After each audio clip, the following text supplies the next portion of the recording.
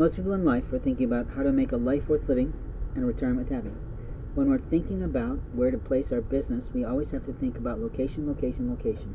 And that's something that I learned from my late spouse, who I put through, with her help, a tourism conventions events management program.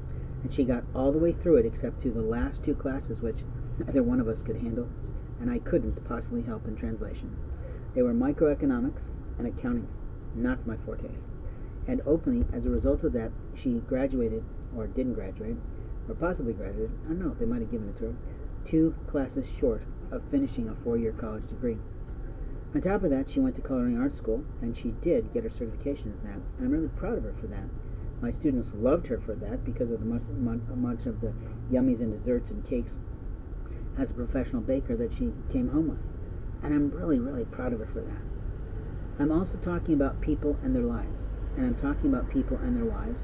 And I'm talking about people, places, and things. And I'm talking about a lot of different things. When I choose to talk about something, I am prompted by God to talk about it.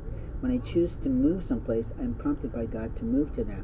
When I put down on paper someone's license plate, it's because I am a minority report man. And that usually the people that I've just listed down on a piece of postcard that could go to my employer is the people that are around town hurting people. And I'm not thrilled to know that. But in life, we have moments of time that we have to know what's right. And you just heard me clapping for my birds so that they know I have some food for them and it's all right for them to come again. In life, we have moments of time to talk about truth.